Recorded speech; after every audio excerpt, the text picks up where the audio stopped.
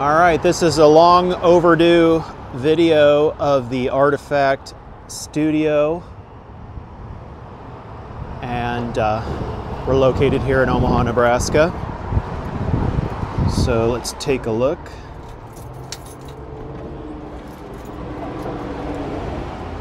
And this space here in the front is our retail store during fourth quarter holidays. So around Thanksgiving, we will open this back up. And in the meantime, it's an overflow area and kind of a place where we take our breaks here. That's why the table's in. So that's what this looks like. And across this threshold is our sewing studio where let's go through our machines here. This one is an Adler 281. It is a garment weight machine. We sew uh, a lot of our chef aprons uh, on this piece right here. And it's got some programmable functions, which is nice. This one over here is a garment weight double needle. Also a Juki, model LH3578A-7. So if you want to see specific videos uh, showing any of these uh, machines in operation, just make a comment below. This is a programmable bar tacker. This particular one is a Dematron model DM-430DL-02. Very handy machine. It kind of it operates on an XY axis like a milling machine, and you can use this keypad and uh, thumbnail drive to create programmable bar tacks. One that we use all the time is this small box X. Um, and then you've got various, you've got your plates and your different clamps so that you can do, here's some sample pieces that we were working on here, different types of tacks. This one is a brother bar tacker that we haven't used in a while. It just, it does a straight bar tack like that, um, your classic bar tack, but with the programmable, that one's a little bit outmoded. Here's another programmable bar tacker. This one's actually a brother. Um, it is a KE430HS-05, and it's in many ways the same machine as the Dematron, but admittedly, I like the Dematron better. We all do, uh, despite the fact that this brother was considerably more expensive. And uh, we can go in on that if you wanted to see a specific uh, demonstration video. This is an overlock machine. Let's take a look here. I was just in the process of changing out the thread cutting knives on this one. And that's what this one looks like. It is also a Juki model MO-6816S. These are great little machines. We've used them quite a bit for um, a myriad of projects. And here's an identical one here, a second one that uh, we've got threaded for black. The other one's threaded for khaki. It makes it a lot easier because um, any of you who've ever used an overlock, you know what threading these is like. Um, it's not impossible, but it's not pleasant either. So here's a kind of an overview shot of the studio um, with all our artwork hanging. The art um, comes mostly from Creative Growth and Creativity Explored. They are uh, organizations in the Bay Area that work with artists with disabilities, and uh, I'm a big fan of their work. Let's go over to this one here. This is a hemming machine. Well, it's we're using it for hemming. And it's got a puller system so it'll pull your workpiece along. And this one is needle feed, so it doesn't have like a walking foot. And we had these custom folding attachments made by Tennessee Sewing Attachment to do two different types of rolled hems. And it's kind of like a almost like a Swiss Army knife here where you can like slide this one out of the way, you can put that one up there, or if you needed to just do some straight sewing, you could just move both of them out. And uh, this, this machine gets a lot of use when we're doing our hemming. This, um, this is a Seiko model STH-8BLD-3. It's your classic just walking foot machine. Um, many of you probably have Consew uh, 206s. Same deal, except these ones I believe are slightly nicer, the castings. Unless you've got the early Consews that are still Japanese made. Those are, those are still pretty good. Um, but th these are workhorses. This one we've outfitted with a drop down folder here with the roller. And then it also has an attachment that was custom made for us where we're doing binding with it. So it would slide up into here onto, onto that throat plate or needle plate and then bind your workpiece here with this three quarter inch nylon binding. So there's that one. And here's another one. It's identical. That one also has a drop down guide, but we don't have any special attachment for that.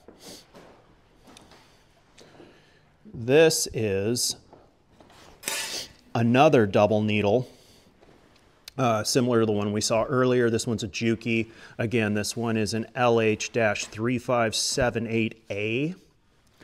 And uh, these have been nice little machines. Here is yet another Consew, or sorry, Seiko. We used to have Consews, um, and you know they were used when I found them. We put them through the paces.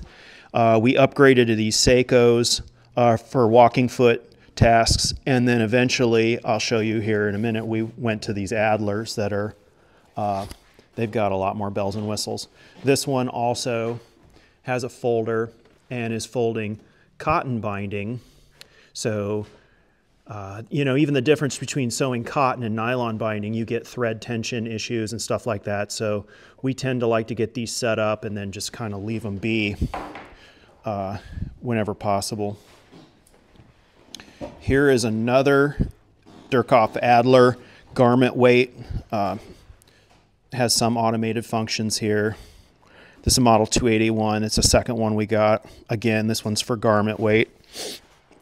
And we're sewing this is a decor thread that we sew our culinary aprons with where it's poly, um, poly core with cotton on the outside so it still has a nice hand, but you get the strength. Here's an ironing station. I found this vacuum table years ago and uh, admittedly we don't use it. Um, well, we use it as an ironing board, but we don't use the vacuum feature on it uh, with one of these uh, Naomoto gravity feed irons. So the water feeds down to that. And uh, these are, if you've ever used one, you'll know they're definitely better than your standard uh, household iron. So what else do we have here? We have yet another Seiko. And this one's got a folder that is uh, set up And, oh, and we got another Seiko walking foot. Uh, you know, a lot of the stuff that we sew is heavy duck canvas and leather, and these machines are, uh, like I said, they're a workhorse. They can handle that. Um, they're, they're a reliable machine. This is a typical um, cylinder bed. We've used this for different stuff in the past, but admittedly, it's not seeing a lot of action lately. Uh, we upgraded to an Adler cylinder bed. You'll see here in a moment, um, and it it can do all this thing can and more. Uh, this is a gar uh, Brother garment weight machine. The model or class on this one was a S-7550A-5. It's it's been a nice machine. Uh, but it doesn't have all the functionality that the Adler 281s we have that we upgraded to. The Adler 281s, they've got auto thread trim, auto back tack, um, which is really helpful in a production environment. So here's a, another shot of studio back here. And let's mosey over here to this. If you're a machine nerd, uh, you would appreciate this one. This is an Adler 888 Classic post bed wheel feed. I do a lot of sewing personally on this machine. Um, a lot of wallets and leather goods. Uh, it's you know it's great for shoemaking. It also has some automated functions here. A lot of nice features. Uh, this thing wasn't free, but it's definitely um, it's it's an incredible machine, and it's been worth it. So here's kind of the the partner to that one. It's the cylinder bed version of that Adler, and this one's a 669 Eco line. Uh, we've used folders with this before, our various attachments. Here's one that's kind of off to the side. Uh, this is a drop-down guide that we've mounted to that. This is really handy for closing bags, like when you're um, on those finishing steps, uh, and just working with with a lot of products in general, where you just need to be sewing like a circle or trying to get around it. That a flatbed machine, just you'd be crunching up your workpiece trying to to stuff it down, you know, through the throat of it and whatnot. This this frees up for a lot of different actions. And this one over here that Erica is currently working on, this one's just a beast. I, I don't even know what, where to begin. It's an 867 Adler. And rumor is with this one, when we bought it, they had, it had been kind of custom built out, all tricked out for Louis Vuitton. And for whatever reason, they didn't end up buying the machines. And uh, so I had an opportunity to purchase this. And it, I mean, it does it does a lot of stuff. It's kind of the difference between driving a Honda Civic versus a Porsche. Uh, and so that's, that's very helpful. And where was, oh, let me walk over here. We have another one of those in a flatbed. It doesn't have quite the same features, but it's still extremely nice. And that is this one right here. This is again the Adler 867 Eco, but notice on the top it doesn't have a lot of those automated functions. Uh, but but man, when this thing is sewing, it just glides just like an ice skater over ice. It's such a delight to use this machine versus. Uh, uh, you know, like when I started, I had like Singer 111 class, like World War II era stuff that didn't even have reverse. So we had techniques to kind of like do our back tack uh, and then I moved to like Singer 211 class. Then I moved to Consew 206s. Then I moved to the Japanese Seikos, like I've showed you. We have a bunch of those still. And then we've been slowly adding the Adler. So let's see, what else do we have?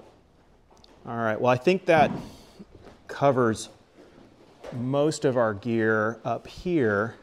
Let's go downstairs and have a peek. And again, if there's any of this equipment that you would like to see more specific uh, videos or demos of, just let us know in the comments and we can facilitate that. So downstairs, uh, we do order fulfillment. We do a lot of our finishing work. I've got a, I have not prepared for this video. It's a bit of a, a mess right now because uh, we're vetting this new piece of equipment that we just got, which is this uh, Leatherman Class 14 leather splitter. It's, it's really nice. I put it through the paces earlier today and it's definitely an upgrade from the hand crank Landis style one that we have had been using that broke. Okay, so let's keep looking here. Uh, grommeting machine. Uh, it's a foot operated. Um, so it, it's got dies where it will cut, it'll cut the hole and then you can, um, on the second action, you can set that grommet bandsaw that I have to change the belt on. It's been on my to-do. Hydraulic clicker press. This has been a very handy piece. We've we've evolved. Um, very beginning, I used a, a book press. I broke it. Then I used a different type of arbor press. I broke that. And then I used a Lucris press. Um, eventually, I broke that. Then uh, uh, we had this Weaver press uh, that's held up decent, but you know, it's a it's a shoulder workout if you're doing cut, clicking out hundreds, if not thousands of pieces. So that's where this one became a logical progression, and it's been a great, great tool. Uh, I got a drill press back there. Sometimes we'll use it for making jigs and whatnot. This is uh, just where the handwork is at, where we hammer rivets on the anvil. We've got a bunch of uh, leather working tools up here, various stuff. Again, I probably could have cleaned up a little bit, but you get to see a very candid moment in the, uh, in the shop. Uh, another workshop table. This one is, uh, it's got a woodworker's vise on it. So if we want to clamp something, uh, this is a, a, somewhat recent acquisition, um, a quick press foil debossing um, press. Uh, we had been using uh, Kingsley presses. They'll get the job done, but this one admittedly has just got a lot more, um, a lot more work area. Uh, it holds the dies better. It's, it's just a more logical design, and uh, we've been really enjoying that. Again, this was the Weaver um, swing arm uh, clicking press. We keep a lot of our dies in these uh, industrial cabinets that I think are fun, and, and then our cutting dies. Uh, I try to keep them up here um, when I'm not using them, but sometimes it doesn't happen. Uh, this is a kick leg press uh, that's got, this is fun because it's, you can uh, use two different dies with it and then just switch this rocker arm. This one sets uh, the like World War II type fasteners that you would see on gas mask bags. Uh, this is another kick leg press.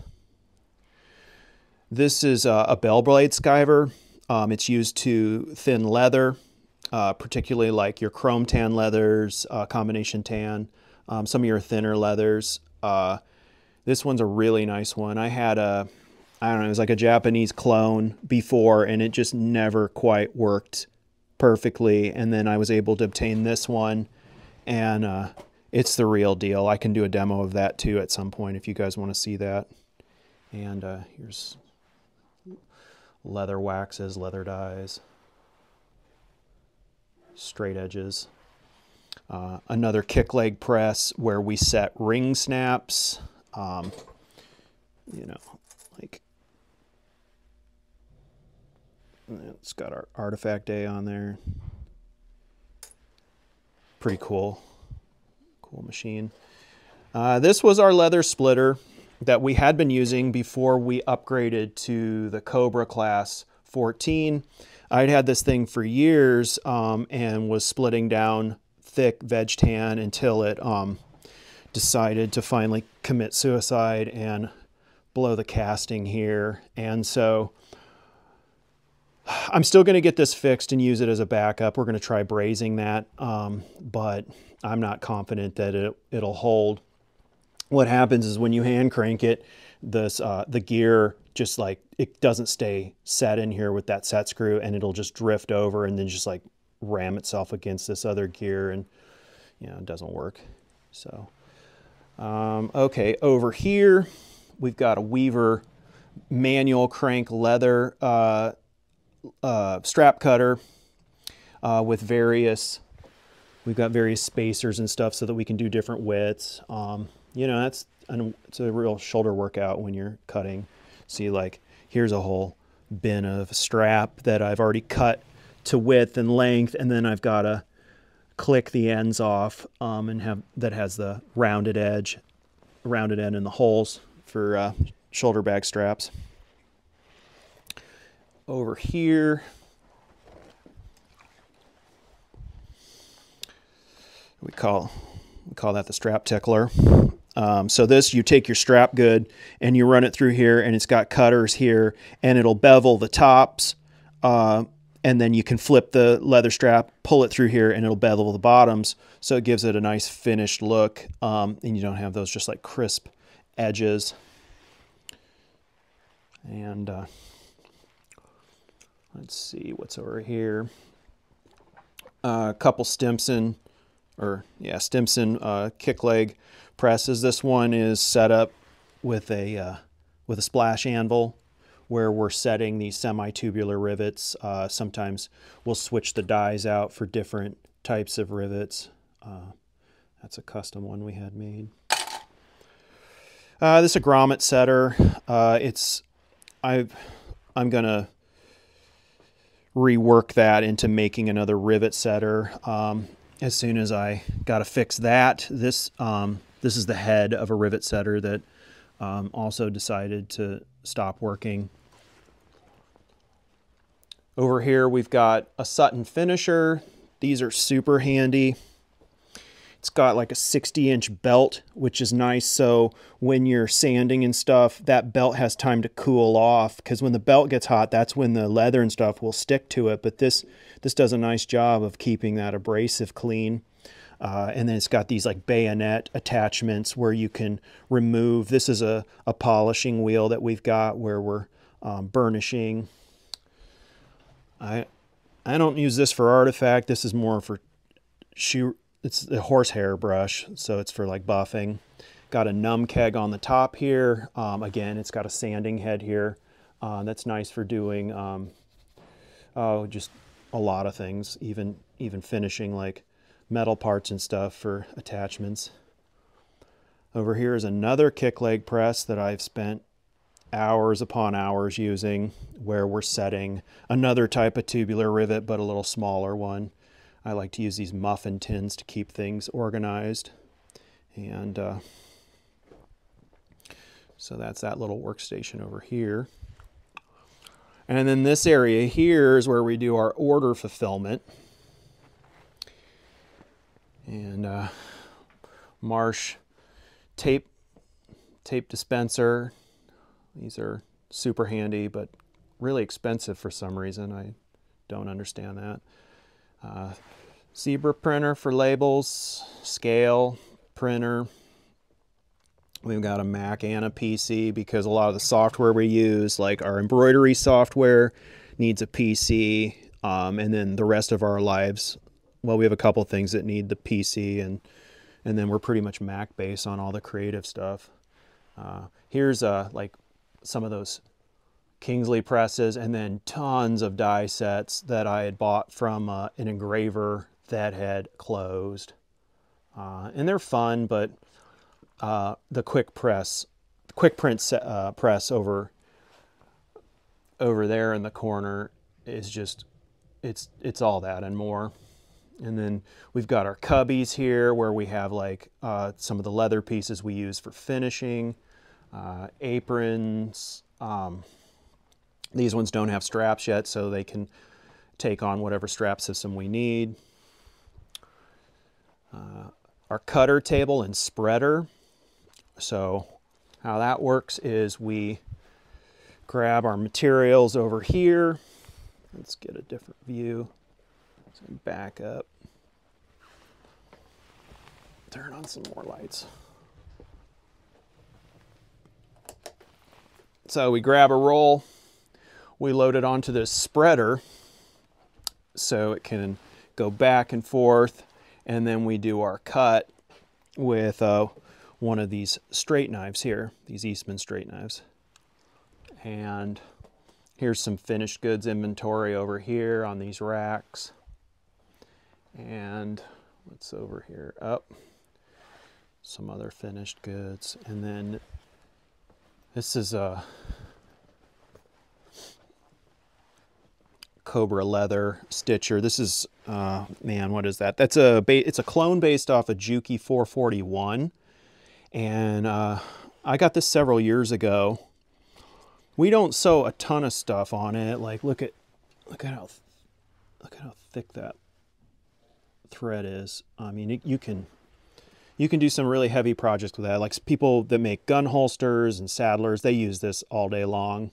Uh, we'll do some like rolled handles and stuff where we want to have a nice thick proud stitch where the stitch is almost like a design element in its own right and we'll sew that on these. And this is uh, I can't say enough good things about uh, these Cobra leather machines. The fit and finish of them is really nice and they're they're definitely a good value. Uh, what do we got here? We got a we got a webbing cutter that's got a heat element um, so when we're cutting nylon it can trim that, and uh, we had a we've got a monster webbing cover cover cutter that we um, we used for years before that. It's over here, And this, this, it's, they both have a guillotine blade that comes down that cycles.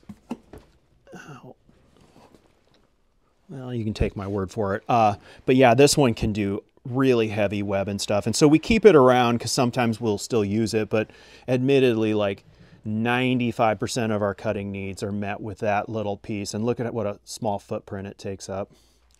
Um, that's a sealer for plastic bags. We've in the past we've had products where we needed to have little accessory packs and stuff, so we made those bags in house. Um, let's see, is there anything else over here?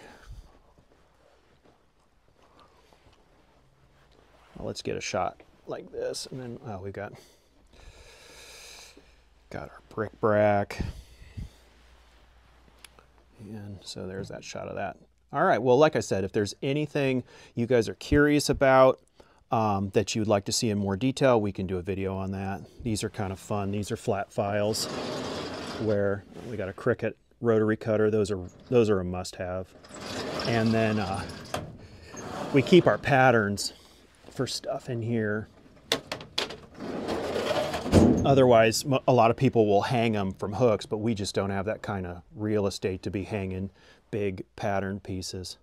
So, all right, well, thank you for watching, and uh, like and subscribe if you like the content. Thanks.